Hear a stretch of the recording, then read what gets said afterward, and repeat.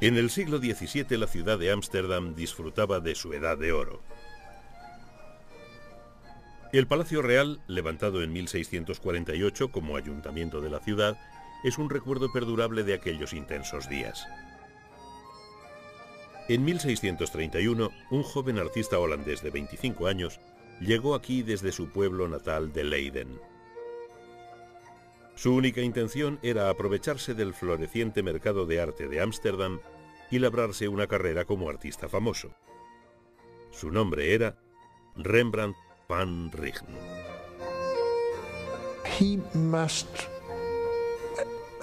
Debía de tener una gran autoestima como artista. En cierto modo, puedes ver que fue uno de los primeros artistas modernos en el sentido de que su obra transmite la sensación de que era él mismo. Era un genio, una persona absolutamente notable y sobresaliente que pensaba, se expresaba y se mostraba a través de imágenes visuales. Alguien con una enorme capacidad para la innovación. Rembrandt es, con mucho, el artista holandés más importante del siglo XVII, un gigante de la era barroca. Estuvo influido por los descubrimientos artísticos de su tiempo, pero desde muy al comienzo de su vida de pintor, Rembrandt siguió sus propias prioridades. Su prodigiosa creación de imágenes bíblicas fue inusual en un país protestante como Holanda. También fue pionero en la nueva técnica del agua fuerte, mientras la serie de autorretratos de toda su vida continúa siendo incomparables.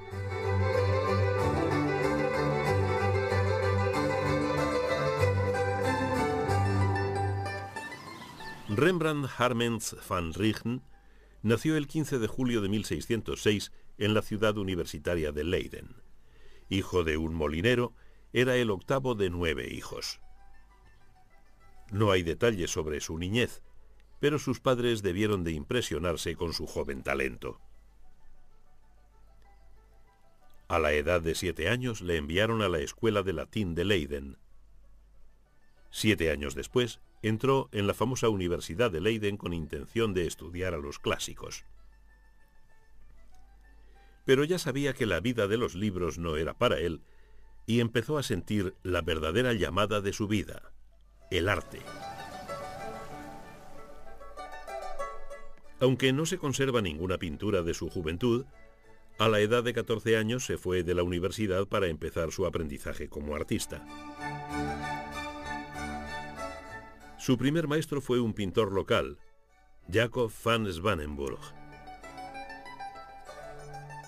Después viajó a Ámsterdam para pasar un periodo de seis meses en el estudio de Peter Lastman, un pintor de escenas históricas. Lastman había visitado Italia para experimentar de primera mano las grandes pinturas del Renacimiento, pero el joven Rembrandt decidió no visitar Roma, Florencia o Venecia ya tomaba sus propias decisiones y determinaba sus propias influencias. Le preguntaron por qué no iba a Italia y contestó, ¿por qué iba a ir? Aquí hay pinturas de todos los italianos, obras de todos los grandes maestros italianos. Ámsterdam es una de las ciudades más importantes en el mundo en la enseñanza de arte. La mayoría de las obras de arte más importantes pasan por este mercado. Y aquí puedo verlas a mi aire. ¿Por qué voy a molestarme en viajar a Italia? Rembrandt decidió no ir a Italia. Creo que la razón principal es porque tenía confianza en sí mismo, quería formarse él mismo. En muchos aspectos, el deseo de Rembrandt de progresar imita el tipo de actitud que por entonces estaba presente en la nueva nación de las Provincias Unidas de Holanda. Las influencias de un joven artista están expuestas a que las interpretemos de corazón. Pero creo que una de las enseñanzas, influencias más importantes, debió de ser la de su amigo Jan Lievens, que era más joven que Rembrandt, pero un niño prodigio. Debió de tener una gran confianza en sí mismo, y uno tiene la sensación de que debió inspirarse en sus primeros años. Un Rembrandt destacado para luego llegar a entablar un combate artístico, digamos. Y también su presencia, porque quizá hasta compartieron el estudio, y eso debió ser de gran importancia para Rembrandt. A Livens se le veía con más ambiciones que Rembrandt, deseando pintar a gran escala. En aquel momento Rembrandt estaba pintando a bastante pequeña escala, y eso era una diferencia enorme si comparamos sus primeros trabajos con los de su etapa intermedia. En 1625, el artista de 19 años tenía suficiente talento para montar su propio estudio en su ciudad natal. Las obras de Rembrandt más antiguas que se conocen datan de ese año. Y en cuanto al tema, Rembrandt se volcó en un libro que le llenó de entusiasmo, la Biblia. Este es el Martirio de San Esteban, un vibrante y dramático lienzo representando la ejecución por lapidación del primer mártir del cristianismo. Se lo conoce como un cuadro histórico, que por aquel entonces era el estilo de pintura más considerado. Con este lienzo, el joven Rembrandt demostró su habilidad en este género. La pintura histórica es la que ilustra el dramatismo culminante de un momento histórico significativo. Representa una importante acción humana que puede enseñarte que posee una función ejemplar. Te puede enseñar cómo comportarte, por lo que tiene un significado moral, un valor moral en sí misma. Para ser un pintor histórico, tienes que ser capaz de pintar cualquier cosa. Tienes que ser un buen pintor de bodegones porque en la historia había objetos. Tienes que ser capaz de pintar carne humana y las proporciones humanas, las emociones humanas y también poder pintar paisajes si la historia tiene lugar en un escenario al aire libre. Así que, solo en base a eso, la pintura histórica tenía un buen prestigio. La obra de Alzheimer fue su punto de partida, y es asombroso cómo desarrolló su propia acotación para la escena como un pintor muy inteligente, y en algunos detalles es totalmente una obra maestra. Alrededor de una tercera parte de todas las obras de Rembrandt están inspiradas en la Biblia, y sus magníficos cuadros religiosos están repletos de escenas representando a Cristo en el centro de la acción. En este panel de 1626, Rembrandt representó el momento en que Jesús echó a los mercaderes del templo de Jerusalén.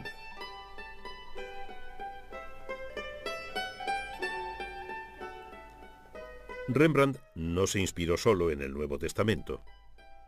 En este lienzo de 1636, Rembrandt hizo volver a la vida un terrible suceso descrito en el libro de los jueces. La ceguera del legendario héroe judío Sansón infligida por los guerreros filisteos. En el fondo vemos a la mujer filistea, Dalila, sujetando el pelo de Sansón, fuente de su fortaleza. En primer plano, el artista no escatima nada al espectador del culminante drama. Las contorsiones faciales de Sansón son exactamente las que esperaríamos de alguien que pasa por ese trance. Rembrandt también demostró su habilidad para incorporar más elementos narrativos a la imagen, no solo el momento justo de su ceguera. Es una imagen que corresponde al espíritu artístico de aquel momento, el espíritu barroco. La composición global está realizada de tal forma que en una mirada has captado la obra y después vas fijándote en los detalles. La forma de lograr eso consiste básicamente en colocar adecuadamente la luz, fundiendo ciertos elementos en la pintura y proyectándolos hacia la zona iluminada. Otra de las cosas que el arte superó fue algo especial, porque suponía un sutil juego con la asimetría. Dejas correr la vista a través de la luz y de esta forma el uso de la asimetría aporta cierta sensación de movimiento a la imagen en vez de una suma de elementos. De hecho, mejoró ciertos conceptos que debieron de ser ideados por Rubens. Creo que era mejor pensador en estos temas pictóricos. Otro ejemplo de las pinturas del Antiguo Testamento de Rembrandt puede verse en la National Gallery de Londres. Este lienzo de 1635 representa la fiesta del príncipe babilonio Baltasar y revela el entusiasmo por joyas y telas exóticas que permanecerá a lo largo de su vida profesional. Esto también se puede comprobar en una pintura de cuatro años antes, la representación de la madre de Rembrandt como la profetisa bíblica Hannah.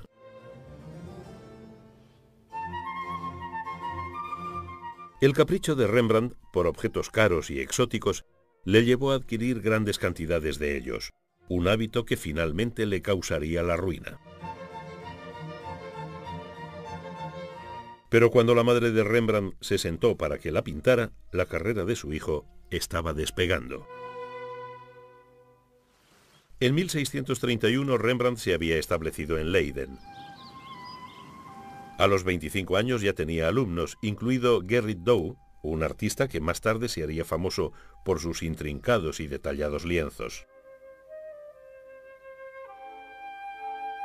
Los rumores sobre el talento de Rembrandt se esparcieron más allá de Leiden. En 1628, un hombre de Estado, Constantin Huygens, secretario del príncipe Hendrik Frederick, visitó a Rembrandt. Huygens se impresionó inmediatamente y su influencia le aportó valiosos encargos incluyendo esta dramática escena del Nuevo Testamento que representa a Cristo resucitando a Lázaro de entre los muertos después de cuatro días. A Rembrandt le gustaba pintar sobre la Biblia, lo cual era algo inusual en un país protestante, ya que en las iglesias protestantes se prohíben las imágenes. Le gustaba la Biblia como una fuente de drama, retórica y acción. Toda la emoción humana estaba contenida en la Biblia, y Rembrandt era un gran estudiante de las emociones humanas, así que le dio la oportunidad de demostrar lo que podía hacer. Había una larga tradición de representar cosas sacadas de la Biblia.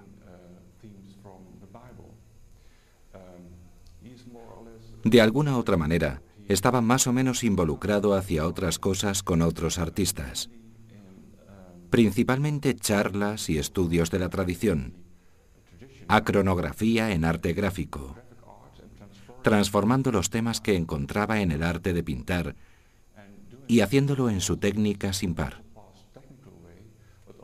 pero también introduciendo una nueva forma de contar historias a la gente, de una forma en la que era muy dado a elegir el momento en el que el núcleo de la historia aportara toda su esencia.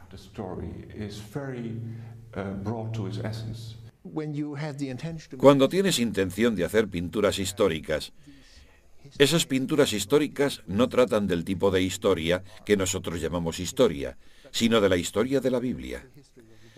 Y también de historias de la antigüedad clásica, porque él también pintó historias de la antigüedad clásica. Así que no creo que tuviera una fijación especial con la religión como expresa en su obra. Aunque las pinturas religiosas hicieron rico a Rembrandt, los encargos de retratos también empezaron a llegar, especialmente de ricos burgueses de Ámsterdam. En 1631 Rembrandt decidió mudarse a la gran ciudad y sus primeros años en Ámsterdam serían los más exitosos de su vida profesional.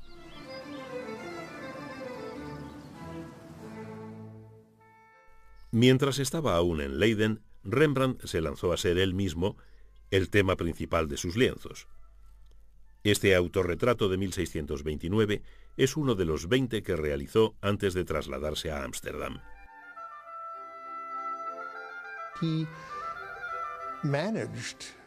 Se las ingenió para crear una estructura de luz y sombra en sus pinturas,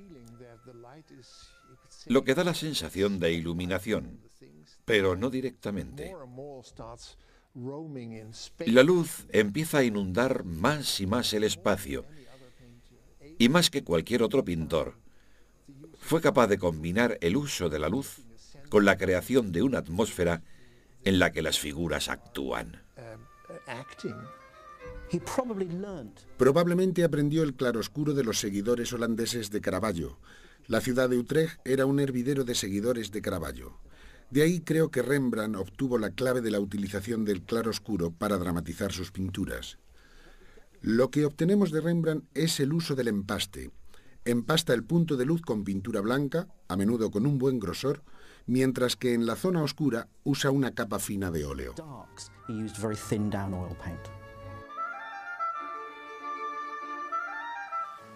En 1631 Rembrandt llega a Ámsterdam. Entonces Ámsterdam era una ciudad en auge debido al comercio internacional. Y entre los ciudadanos ricos había mucha demanda de retratos. Franz Hals mostró cómo los retratos podían captar la personalidad del modelo en un determinado momento. Este retrato del comerciante Nicolás Ratz demostró que Rembrandt también poseía una extraordinaria habilidad para reproducir a sus congéneres.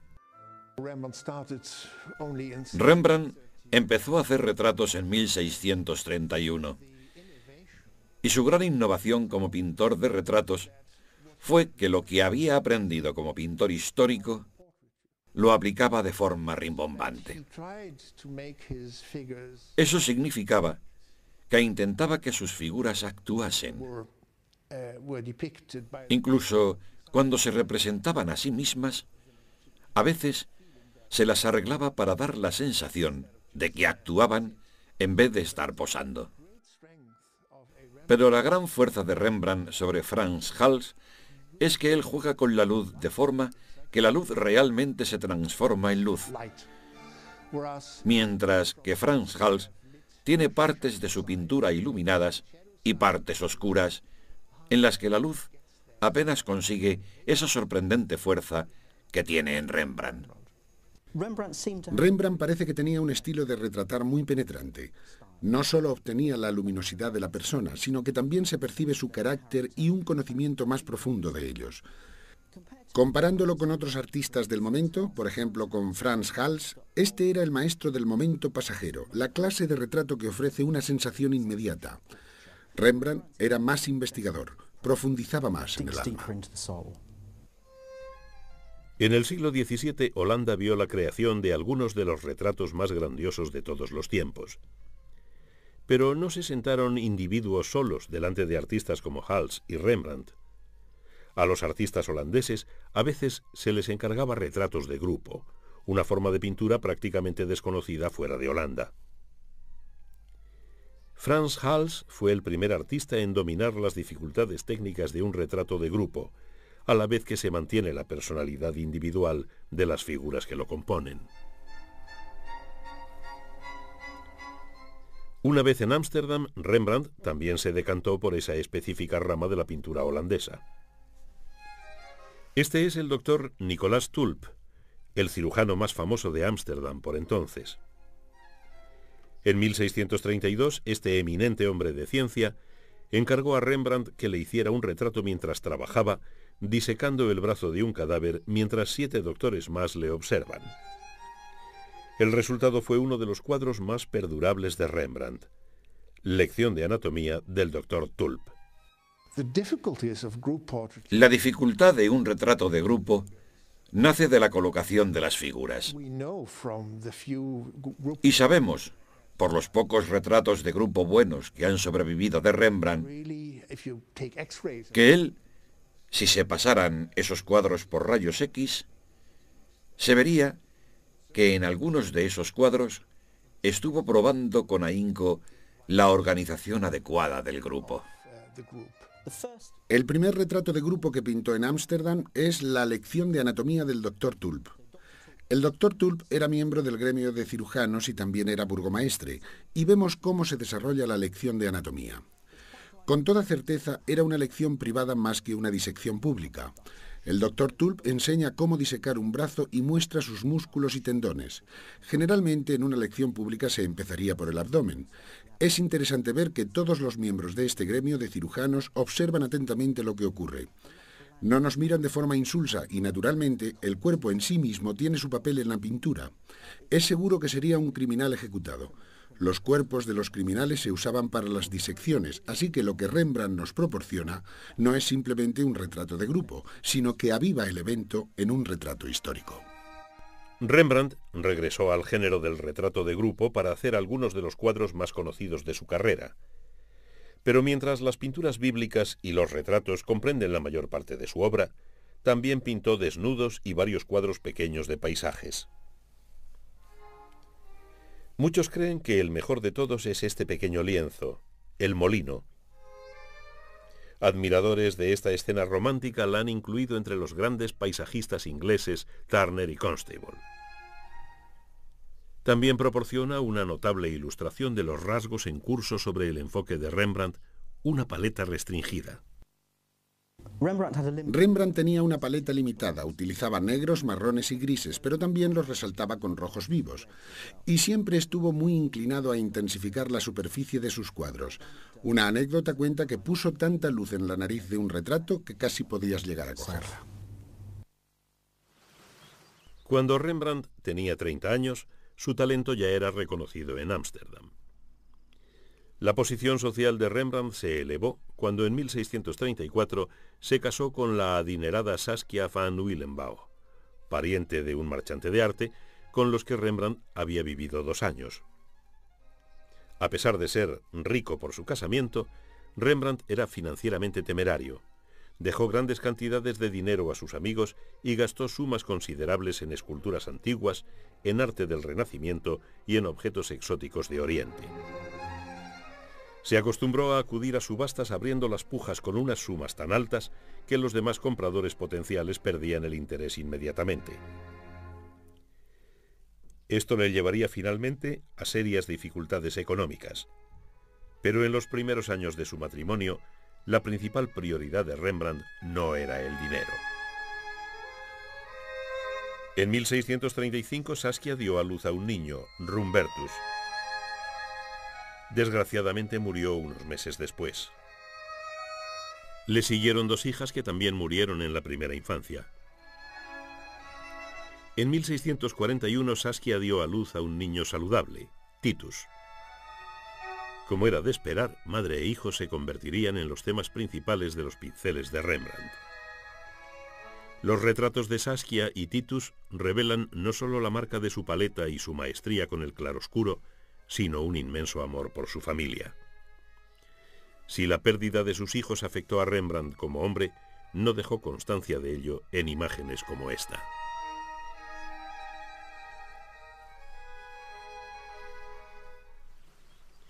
A finales de la década de 1630, Rembrandt no era solo un gran artista con todo derecho, también era reconocido como profesor.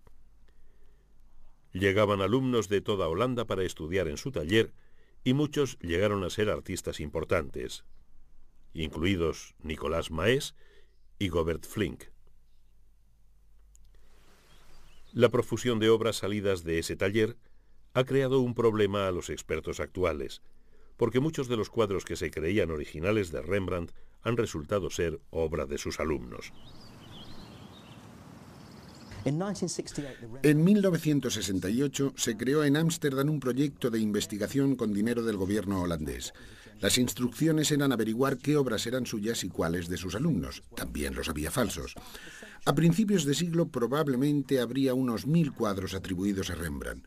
En los años 60 habían bajado a 600 y actualmente posiblemente haya solo entre 400 y 500. Al principio, nos llevó mucho tiempo antes de poder admitir que la mayoría no eran de Rembrandt y que debían de ser de su estudio o de sus alumnos. Pero hay trabajos de sus alumnos que iban en una línea paralela y dependían del trabajo de Rembrandt. Así que, una vez has comparado las dos pinturas, la del maestro y la del imitador, reconoces las que son de Rembrandt y las que son de sus alumnos. La duda que envolvía algunos de los cuadros salidos del estudio de Rembrandt se repite en los detalles de su vida. Hay largos periodos en que prácticamente no hay ningún documento que mencione su existencia. Las citas textuales del propio Rembrandt son casi inexistentes. Pero sí sabemos que en 1639 compró esta casa en el número 4 de Judenbreestraat, en el barrio judío de la ciudad. El precio fue de 13.000 florines. A pesar del aparente éxito económico de Rembrandt, pidió prestado el dinero para comprar la casa de Judenbreestraat. Al casarse con Rembrandt, Saskia aportó una dote de 20.000 florines. Vendía los retratos individuales a 500 florines y sus muchos alumnos le pagaban cada uno 100 florines al año por el privilegio de trabajar junto a él. En 1640 la muerte de la madre de Rembrandt le supuso una buena herencia. Pero a pesar de todo ese dinero prefirió no usarlo para pagar la hipoteca. En cambio, sucumbió a su pasión por comprar cosas. Sabemos de varios pintores que poseían alguna colección, pero principalmente eran solo cuadros, alguna escultura y tal vez telas, pero eso era todo. Uh, pero Rembrandt coleccionaba casi todo lo que cualquier coleccionista, antigüedades, documentos, cosas de la naturaleza y también objetos etnográficos, que eran los cuatro temas principales que se coleccionaban. Rembrandt tenía de todo, y eso es bastante insólito. La temeridad financiera de Rembrandt tardó años en alcanzarle. A principios de la década de 1640 todavía era un hombre rico, pero en 1642 su suerte empezó a cambiar. En su vida personal fue un año trágico. El 14 de junio murió su querida esposa Saskia. La muerte de sus tres hijos había minado su salud. El único consuelo de Rembrandt era que el último hijo que tuvo con Saskia, Titus, llegara a la edad adulta. Antes de la muerte de su esposa, Rembrandt había terminado un retrato de grupo encargado por una compañía de la milicia, uno de los muchos grupos de guardias cívicos que surgieron en las ciudades y pueblos más grandes después de la retirada de los españoles. Sus jefes eran a menudo hombres de una gran posición en la alta sociedad holandesa. Aquí podemos ver la posición más relevante del capitán Frans Banning Koch. Junto a él su teniente, pero él domina la parte frontal y el dominio de Rembrandt de la luz contribuye enormemente a ese efecto. Todos están envueltos en lo que aparenta ser más una escena de acción narrativa que un retrato de grupo. Esta es una imagen muy distinta a la de la lección de anatomía de años atrás y posiblemente sea el cuadro más famoso en la carrera de Rembrandt, La Ronda de Noche. La Ronda de Noche es muy importante y tiene algo innovador. Naturalmente los retratos de grupo ya se hacían antes de Rembrandt, pero las composiciones eran muy aburridas. Estaban todos uno al lado del otro, y Rembrandt realizó una nueva composición. Pero un grupo tan grande de gente es muy difícil de organizar. Además, también utilizó su técnica de claroscuro para definir y estructurar la pintura, lo que hace de Ronda de Noche una obra maestra. En la lección de anatomía del Dr. Tulp, se las arregló para organizar a un grupo de gente que comunicaba algo de una forma muy directa. Pero en el caso de la ronda de noche, su intención era describir el momento de caos en que la gente corre y que, tras un arco, aparece en un grupo bien organizado. Y ese es el gesto del hombre de la primera línea, Koch, a su teniente. Hay caos, pero será prontamente controlado. Uh, y debió de pensar que esa era la mejor forma de dotarle de vida y no ser una parada militar. La Ronda de Noche fue uno de los cuadros flamencos más extraordinarios del siglo y también marca un momento decisivo en la vida de Rembrandt. Entonces tenía muy pocos encargos de retratos de valor Se llegó a sugerir que la ronda de noche era la culpable.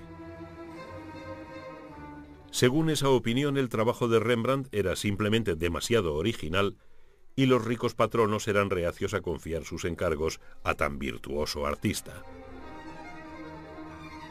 Una explicación más probable es que entonces empezaba a surgir la moda de pinturas intrincadamente detalladas, siguiendo la tradición de anteriores pintores holandeses, tales como Jan van Eyck. Las pinturas de Rembrandt se desarrollaron de forma diferente, definiendo las tendencias de los tiempos con su particular pincelada. Rembrandt usó su pincelada como una afirmación personal. Se puede conocer a Rembrandt por su pincelada. De hecho, algunas personas han ido tan lejos como para decir que utilizó su gruesa y contundente pincelada para abreviar el trabajo. Pero al observar un Rembrandt no puedes decir cuánto tiempo invirtió en pintarlo. Su técnica de pincel nunca es algo independiente. Su pincelada está siempre al servicio de la ilusión y puedes encontrar zonas donde la pincelada es vasta. Pero es cierto lo que se decía a finales de los 40 y 50, de que deliberadamente debió fijarse en Tiziano. En su última etapa, este se hizo famoso por su pincelada vasta y siguió siendo aún más vasta, pero no en el sentido estricto de la palabra, sino que a la vez tenía una función. Después de 1642, los encargos de Rembrandt se redujeron, y eso motivó unos impagos en la hipoteca de su casa, y a finales de la década, los acreedores de Rembrandt empezaron a inquietarse.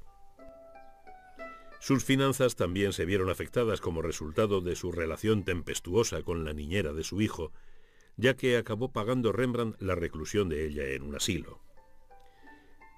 Pero la obra de Rembrandt seguía siendo muy conocida y cada vez más a través de su trabajo en un medio totalmente distinto, un medio que quizá no inventara él, pero que elevó a un nivel de logro artístico insuperable, el aguafuerte.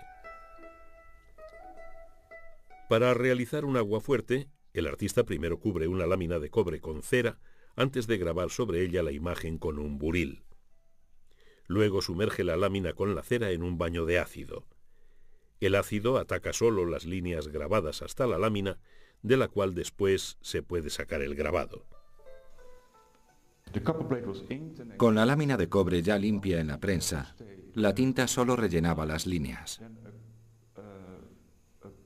Con un trozo de papel, se extendía encima un trozo de papel húmedo y entonces se podía hacer girar la rueda que hacía correr la lámina con el papel hasta debajo de este cilindro.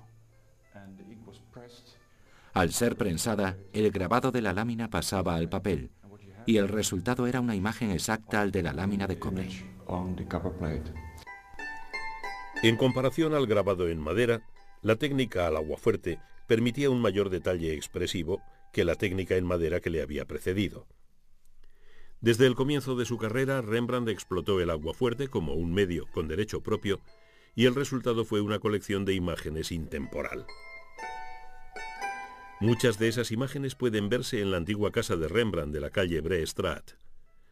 A principios del siglo XX se constituyó la fundación de la Casa Rembrandt y ha sido responsabilidad suya recoger y mantener la inestimable colección de obra gráfica de Rembrandt. Este se cree que fue el padre de Rembrandt. Murió cuando su hijo tenía 23 años. Su madre también puede verse en varios retratos. Pero quizás sea esta imagen de 1647 la que verdaderamente revela qué maestro retratista podía lograr eso con la técnica del aguafuerte. Este es Jan Six, una figura influyente en Ámsterdam. Algunos años más tarde, Six fue objeto de uno de los retratos al óleo más magníficos de Rembrandt. Rembrandt era un habilidoso y extraordinario artesano, y muy bien puede ser que realizar sus aguafuertes fuera una forma de sacar a la luz esa cualidad suya, porque los dibujos generalmente no llegaban al público. Le hizo ganar mucho dinero.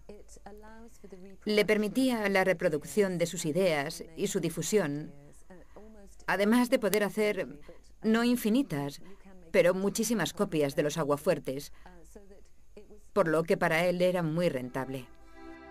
Rembrandt escogió para sus aguafuertes los mismos temas que utilizó para sus pinturas. Y eso es especialmente cierto con las imágenes religiosas. Aquí, Rembrandt ha buscado de nuevo la inspiración en la historia de la resurrección de Lázaro para crear una imagen llena de luz y dramatismo. El momento en que Cristo expulsa a los mercaderes del templo también puede verse aquí. Pero de todos los aguafuertes religiosos de Rembrandt, es esta imagen de Cristo predicando la que mejor expresa su genialidad con el buril. Terminado en 1649, es una representación visual de los sucesos descritos en el capítulo 19 del Evangelio de San Mateo, una imagen narrativa que se hizo famosa como la moneda de cien florines. Es uno de los trabajos de Rembrandt más ambiciosos y a la vez más sensibles. Los amantes del arte debieron estar intrigados con él. Aquí está medio acabado. La idea de un trabajo de Rembrandt terminado era algo que fascinaba a los amantes del arte.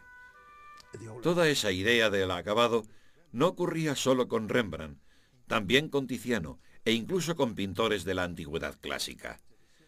Así que el que Rembrandt lo dejara en un punto determinado, después de haber elaborado espléndidamente ciertas zonas con el agua fuerte y dejado otras sin detallar, debió de fascinar a los amantes de la impresión. Al grabado Cristo sanando enfermos se le llamó la moneda de 100 florines, porque alcanzar ese precio en una subasta era una suma enorme. Pero otra vieja historia dice que se llama de los 100 florines porque es lo que pagó Rembrandt para recuperar su obra. Cuando Rembrandt alcanzó la mediana edad, sus aguafuertes estaban entre sus obras más populares, y los vendía por sustanciosas sumas de dinero. Pero a mediados de esa década la situación financiera de Rembrandt alcanzó un punto crítico y en 1656 se le declaró en bancarrota. Durante los dos años siguientes, su casa y posesiones fueron vendidas para pagar a sus acreedores. El inventario de sus objetos puso de manifiesto diversas colecciones de esculturas, joyas, armas y armaduras. Pero ni siquiera la venta de sus artículos procedentes de todo el mundo bastó para saldar completamente sus deudas.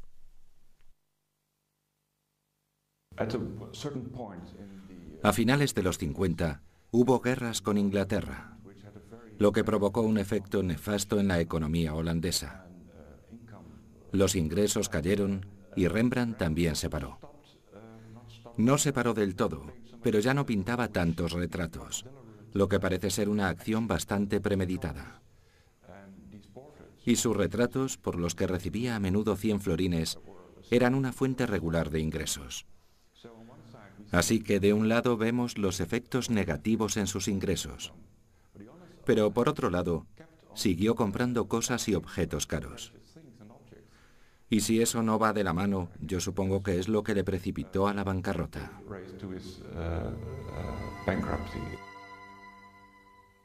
Sorprendentemente, la peligrosa situación financiera de Rembrandt no llegó a disminuir la calidad de sus obras. Mientras le amenazaba la bancarrota, pintó el retrato de Jan Six, donde muestra el inigualable enfoque de su técnica de pincel. Después de ser declarado insolvente y a pesar de no tener una residencia establecida en Ámsterdam, su arte continuó desarrollándose, y las imágenes que creó en los últimos diez años de su vida están entre las mejores. El arte de Rembrandt floreció en parte debido al apoyo de su hijo Titus y a su amante Hendrik Stoffels. Estas dos personas le proporcionaron el tema de muchos de sus cuadros y aguafuertes. La National Gallery de Londres alberga esta espléndida pintura de Hendrike bañándose en un río. En 1660, Hendrike y Titus hicieron un arreglo por el que oficialmente Rembrandt se convertía en un empleado de su tienda de arte con un adelanto de 1.750 florines. A pesar de la generosidad de su hijo y su amante, los días de celebridad de Rembrandt eran cosa del pasado. Por entonces, el encargo de pintar el interior del nuevo ayuntamiento de Ámsterdam se concedía a artistas del momento y eso para ellos representaba la fiebre del oro de la oportunidad. Pero Rembrandt no estaba entre ellos. Solo la muerte de un antiguo alumno suyo, Gobert Flink, hizo que Rembrandt recibiera un encargo, la conspiración de Claudius Civilis, una representación de la rebelión de una tribu de los Países Bajos contra los romanos en el año 70 después de Cristo. Era un tema apropiado para una nación confiada que se había sacudido la dominación española hacía solo unas décadas. Pero el lienzo no fue bien recibido y fue retirado del ayuntamiento poco después de su terminación. Pero Rembrandt todavía poseía la suficiente influencia para asegurarse un último retrato de grupo, un cuadro de seis síndicos del gremio de los pañeros. Terminado en 1662, es el tercero de los grandes retratos de grupo del artista, además de la lección de anatomía y de la ronda de noche. A primera vista esta pieza parece tener más parecido con la primera obra maestra de grupo de Rembrandt, es una imagen nada complicada, con muy poco sentido del dramatismo barroco. Pero sí revela la vieja y total maestría de Rembrandt para pintar seres humanos como auténticos individuos con sus propias vidas y preocupaciones, una habilidad compartida con Franz Hals. Es una obra absolutamente fascinante, en parte por la forma en que trata el tema y en parte por la forma en que maneja la pintura y los medios que utiliza. Ese grupo de caras es absolutamente soberbio en sus expresiones. Y eso no es solo porque es un genio como pintor. Debió de pensar detenidamente cómo colocarlos y cuando lo miras bajo los rayos X, puedes ver sus continuos movimientos y cambios de posición, y al final todos miran en la misma dirección. Es como si la gente de la lección de anatomía del doctor Tulp girara su mirada hacia el observador y de repente todos ellos miraran al observador. Y eso da unidad a la obra. Hay mucha literatura sobre lo que quiso decir con eso, pero yo creo que todavía hay una forma de hacer retratos de grupo en la pintura histórica. En 1662, el pintor de este extraordinario lienzo se aproximaba a la vejez. Tristemente, los últimos años de Rembrandt estarían marcados por más tragedias personales. En 1663, Henrik Stoffels murió y en 1668 su amado hijo Titus murió a los 27 años. Ahora Rembrandt era un hombre solo, de 62 años, al que quedaban unos meses de vida. Pero no dejó de pintar hasta el día de su muerte, y en el último año de su vida, Rembrandt pintó la última parte de lo que había sido la empresa de toda su vida. Un autorretrato. Este es el último y magnífico lienzo en el que se representa a sí mismo en 1669. Y este es el apreciado claroscuro de sí mismo 40 años antes. En el intermedio, Rembrandt se utilizó muchas veces como tema de sus cuadros. Este es un autorretrato de 1640 y muestra a un confiado y opulento artista en la cumbre de la fama. Todas juntas estas imágenes suponen una autobiografía visual sin igual en la historia del arte. Una sucesión de cuadros donde Rembrandt nunca esconde su propio deterioro físico. Para muchos, este último lienzo es el más magnífico de todos. Aquí la representación física de la cara de Rembrandt revela las señales psicológicas de una vida y una carrera accidentadas. No obstante, este cuadro del año anterior muestra al artista riendo. Sabemos que Rembrandt estaba sufriendo en esa época la tristeza por sus pérdidas. Sin embargo, esta no es una imagen trágica. En cierta medida, los autorretratos son autobiográficos en el sentido de que muestran su cambio de imagen, pero creo que son más que eso. También nos proporcionan indicios sobre sus propias ambiciones como artista, porque hay numerosas ocasiones en las que parece que Rembrandt está examinándose a sí mismo frente a antiguos artistas. Tiene un autorretrato al estilo de Rafael, otro al de Tiziano. Rembrandt, con esa intuición del pasado, emulaba a artistas antiguos. Creo que existe una continua reflexión sobre el personaje artístico de Rembrandt de su idea de lo que era ser un artista en Holanda en el siglo XVII.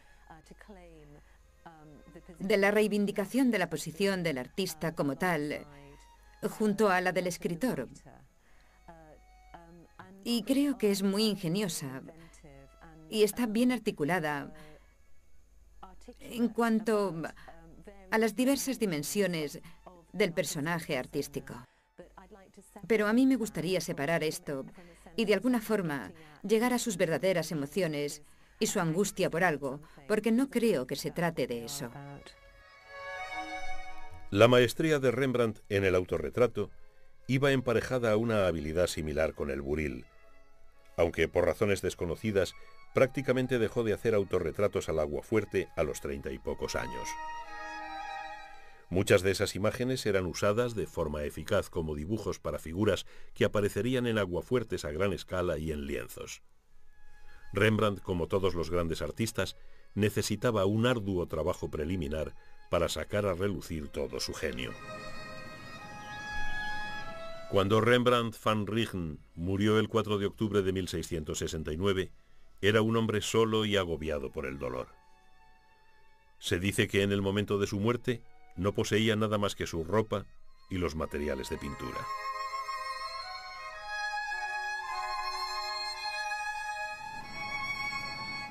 Cuatro días después, fue enterrado en la iglesia Westerkerk de Ámsterdam.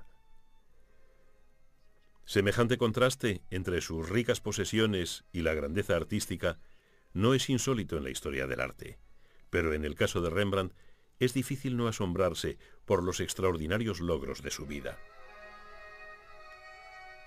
Solo la posteridad le ha dado la posición que merece como el mayor de los maestros holandeses. Sin duda, Rembrandt es un maestro en la historia del arte. Y lo que ves a menudo en la historia del arte, al principio de cualquier carrera que posee esa enorme habilidad creativa, es que lo que ocurre después parece más o menos relacionado con ello proyectan una sombra que solo los artistas más grandes pueden esquivar. Rembrandt fue el artista más importante del siglo XVII. Nos ha dejado algunas de las más absolutas percepciones del alma humana. El pintor alemán Max Liebermann vio la grandeza de Rembrandt. Dijo que contemplar un Franz Hals le animaba a pintar, pero que cuando veía un Rembrandt le daban ganas de tirar la toalla. Algunas obras, como La novia judía, son de un verdadero pintor. Quiero decir que es de un auténtico artista entre los artistas.